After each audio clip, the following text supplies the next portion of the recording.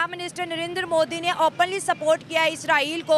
मोदी साहब ने आज ट्वीट किया सुबह उन्होंने कहा कि this is terrorist attack on Israel अब साउथ जो भारत है बिलखसूस हमेशा बड़ी फाइन लाइन के ऊपर इसराइल के साथ चलता है। इसराइल का फलस्तीन के बाद लेबनान पर हमला। इसराइली फौज की लेबनान के सरहदी इलाके पर गोलाबारी। हमास के हमले के बाद इसराइल ने लेबनान को निशाना बनाया है। जिस तरह से हमास के मिलिटेंट्स ने अटैक किया है इसराइल पर और बदले में इसराइल ने गज़ा पर मतलब फ़लस्तीन पर जिस तरह से बॉम्बिंग की है दोनों तरफ़ बहुत ज़्यादा जानी माली नुकसान हुआ है लेकिन इंडिया ने अपने दोस्त इसराइल का साथ नहीं छोड़ा उसको सपोर्ट किया है। फलस्तीन के मामले में भारत हमेशा सेंसिटिव रहा है क्योंकि भारत के अंदर जो मुसलमान पॉपुलेशन है काफ़ी ज़्यादा है उसके हवाले से।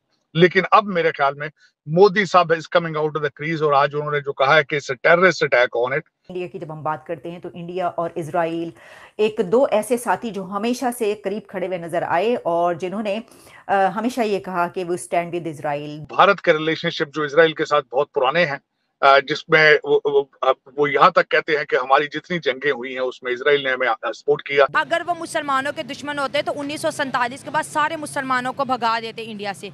यहाँ पर तो कोई नहीं आया। तो वहाँ पे कौन सा उनको जो है वो सर पे बिठाया उन्होंने? क्या बात तो कर रहे हैं बॉलीवुड में देख रहे सारे खान मुसलमान है हुकूमत नमस्कार दोस्तों स्वागत है आप लोग का हिंदुस्तानी स्पेशल के एक और नए वीडियो में। दोस्तों जैसे कल जानते हैं कि अभी इसराइल और फिलिस्तीन के बीच में लगातार जंग जारी है। दोस्तों भारत का एक बहुत बड़ा कदम है और खुद नरेंद्र मोदी जी ने हमास को एक आतंकवादी संगठन माना है। दोस्तों भारत के साथ साथ दुनिया के जितने भी मुल्क हैं विकसित मुल्क हैं वो उन सबने जो हमास है, उसको आतंकवादी जो संगठन है, वो घोषित कर रखा है। लेकिन अभी भी कुछ ऐसे मुस्लिम देश है, जो कट्टरपंथी मुस्लिम देश हैं, वो लगातार हमास को समर्थन दे रहे हैं। दोस्तों, आपको पता होगा कि फ़िलिस्तीन में हमास एक ऐसी संगठन है, जो कि लगातार इसराइल पर अटैक कर रही है।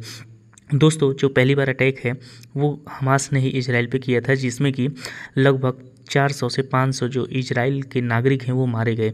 उसके बाद से इजराइल ने उसके ऊपर जो कहीं ना कहीं एक प्रहण करते हुए जो इजराइल है जो फ़िलिस्तीन है उसके ऊपर अटैक कर दिया, जिसमें कि ये बताया जा रहा है कि लगभग 600 से 700 जो फिलिस्त जो हमास के जो आतंकवादी हैं वो मारे गए हैं और बहुत सारे जो आतंकवादी हैं वो पकड़े भी गए हैं।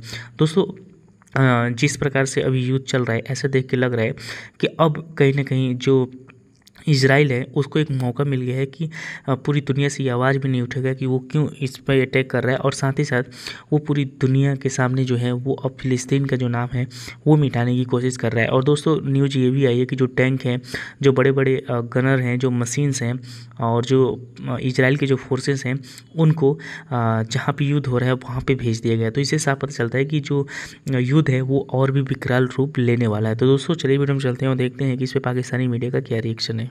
उन्होंने कहा कि this is terrorist attack on Israel अब साउथ जो भारत है, बिलखसूस हमेशा बड़ी फाइन लाइन के ऊपर इसराइल के साथ चलता है। मैं उसका बैकग्राउंड भी बताना चाहूँगा। 1950 में इन्होंने रिकॉग्नाइज किया इसराइल को, लेकिन उन्नीस सौ बानवे तक उनके साथ सफारती रिलेशनशिप नहीं रखे। और वो हमेशा, और हमास को वो कभी टेररिस्ट नहीं कहते थे। फलस्तीन के मामले में भारत हमेशा सेंसिटिव रहा है, क्योंकि भारत के अंदर जो मुसलमान पॉपुलेशन है, काफ़ी ज़्यादा है उसके हवाले से।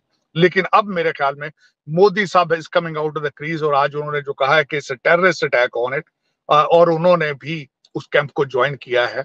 जो अमेरिका है इस वक्त वो भी और जो वेस्टर्न कंट्रीज़ हैं, उन्होंने भी सब इस वक्त they are getting behind Israel हमारे जो सेक्रेटरी ऑफ़ डिफेंस है उन्होंने बयान दिया है कि हम हर चीज़ देने के लिए तैयार हैं इसराइल को अपने आप को डिफेंड करने के लिए। उसके बाद खासकर जो अगर रिलेशनशिप देखे जाए तो भारत के रिलेशनशिप जो इसराइल के साथ बहुत पुराने हैं जिसमें वो, वो, वो यहाँ तक कहते हैं कि हमारी जितनी जंगें हुई हैं उसमें इसराइल ने हमें सपोर्ट किया। मैं उसमें हवाला अभी रिसेंट उनके जो नए आपस में मुआदे हैं आई टू यू टू के हवाले से देखा जाए। और वो दूसरा 7.2 बिलियन डॉलर की ट्रेड करता है भारत इसराइल के साथ। और उनके जो रिलेशन जो उनके प्रोडक्ट है, उनको कहा जाता है ट्रिपल डी डिफेंस डायमंड्स और ड्रिप एग्रीकल्चर जो ड्रिप इरिगेशन के हवाले से एक दूसरे के साथ चीज़ें शेयर करते हैं। अठारह हज़ार के करीब इस वक्त भारतीय जो है, वो इसराइल के अंदर हैं। जिनमें तीन किस्म के लोग हैं। एक तो जो डायरेक्ट जो एल्डरली इसराइली के टेक केयर करने के लिए, उसके बाद जो आईटी के लोग हैं, वो हैं जो स्टार्टअप के लिए, और तीसरे लोग जो है, जो डायमंड ट्रेडर हैं, क्योंकि इसराइल इज़ बिग और भारत में भी बहुत, गुजरात एरिया के अंदर डायमंड की बहुत बड़ी मार्केट है। अब इसमें मैं ये बताना चाहूँगा कि चीमा साहब, इसके आज जो सिलसिला जारी हुआ है, दोनों तरफ़ से, जो चीज़ें बड़ी सेंसिटिव हैं एक तो वो उन्होंने क्रॉस करके बॉर्डर, कुछ टैंक उनके तबाह किए, डिफेंस, बल्कि उनके आर्मी तनसीबात के अंदर भी जो है वो हमास वाले जा चुके हैं। पचास के करीब करीब हास्टेजेस जिसमें उनके फौजी भी और सिविलियन भी हैं। उनको भी उन्होंने पचास को वो खींच कर वो अपने गाजा स्टेप में जा चुके हैं। उसके बाद घरों के अंदर इस वक्त इसराइलियों को हास्टेज बनाया उन्होंने। तो दोस्तों, जैसे कि आपने इस वीडियो में देखा कि जो पाकिस्तान की मीडिया है, वो जो है, वो भारत और इसराइल के रिलेशनशिप के बारे में बात कर रही है। दोस्तों, पूरी दुनिया ने देखा है कि भारत और इसराइल का जो रिलेशन है, वो कितना ज़्यादा अच्छा है। और इसराइल ने भी ये बात कहा है कि भारत ही एक ऐसा देश है जो कि हमें मान्यता देता है। और इसराइल जो है और जो भारत की दोस्ती है, उसको पूरी दुनिया ने देखा है। और एक बार फिर से नरेंद्र मोदी जी ने साफ़ तरीके से कह दिया कि हम जो है, वो इसराइल के साथ खड़े हैं। दोस्तों हालाँकि कि जो भारत है, वो फ़िलिस्तीन का भी पहले साथ दिया करता था। लेकिन जिस तरीके से जो हमास है, जो लगातार फ़िलिस्तीन के कहने पे या फिर उनके सपोर्ट की वजह से ही आज वहाँ पे है, वो जब एक आतंकवादी संगठन पहले से ही वो साबित हो चुका है। उसके बाद से वो लगातार फ़िलिस्तीन में रहकर वो अटैक कर रहा है। इससे साफ़ चलता है कि जो फ़िलिस्तीन है, वो उसका समर्थन कर रहा है और और इसीलिए भारत का जो रुख है, वो सामने आ चुका है। भारत ने साफ़ तरीके से कह दिया कि हम जो हैं, वो जो इसराइल है, उसके साथ खड़े हैं और जो भी सामान चाहिए, जो भी चीज़ें उनको मदद चाहिए, वो हम देने के लिए तैयार हैं।